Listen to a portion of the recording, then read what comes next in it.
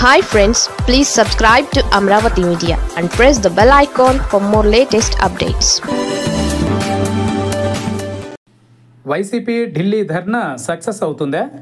YCP ఢిల్లీలోని జంతర్ మంతర్ వద్ద ఈ నెల ఇరవై నాలుగున భారీ ధర్నాకు ప్లాన్ చేసింది. ఏపీలో టీడీపీ కూటమి ప్రభుత్వం అధికారంలోకి వచ్చాక వైసీపీ నేతల మీద దాడులు చేస్తున్నారని హత్యాకాండ సాగుతోందని ఆరోపిస్తూ ఈ ధర్నా సాగుతోంది. అయితే ఈ ధర్నా ఈ నెల ఇరవై నాలుగు అంటే గట్టిగా మూడు రోజులే సమయం ఉంది ఈ ధర్నాకు పార్టీలోని నేతలంతా హాజరు కావాలని వైసీపీ అధినాయకత్వం ప్రకటించింది. వైసీపీ ఎంపీలు ఎమ్మెల్యేలు ఎమ్మెల్సీలతో ధర్నా అని మొదట పేర్కొన్నారు. కానీ ఇప్పుడు చూస్తే మొత్తం నూట డెబ్బై ఐదు అసెంబ్లీ నియోజకవర్గాలకు చెందిన కోఆర్డినేటర్లు పార్టీలోని సీనియర్ నేతలు లోకల్ బాడీస్కు చెందిన ప్రజాప్రతినిధులు అంతా రావాలని పిలుపునిచ్చారు.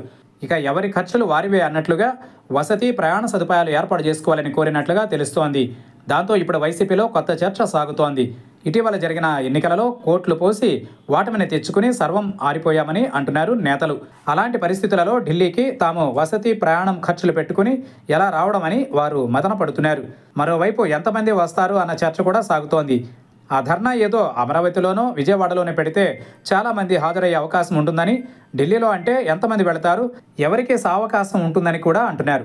ఇక తొలి ప్రయత్నంగా నిర్వహిస్తున్న ఈ ధర్నాలో పార్టీ జనాలు పెద్ద ఎత్తున కనిపించకపోతే అది ఇబ్బందికరం అవుతుందని కూడా అంటున్నారు.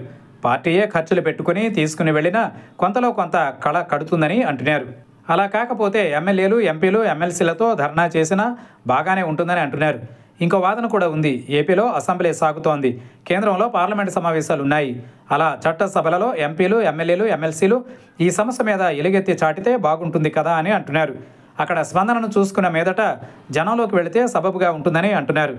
అయితే ఢిల్లీలో ధర్నా చేసి ప్రధాని సహా కీలక నేతల అపాయింట్మెంట్ కోరి వారికి ఏపీ ప్రభుత్వం మీద ఫిర్యాదు చేయాలన్న ఆలోచనలో వైసీపీ అధినాయకత్వం ఉంది.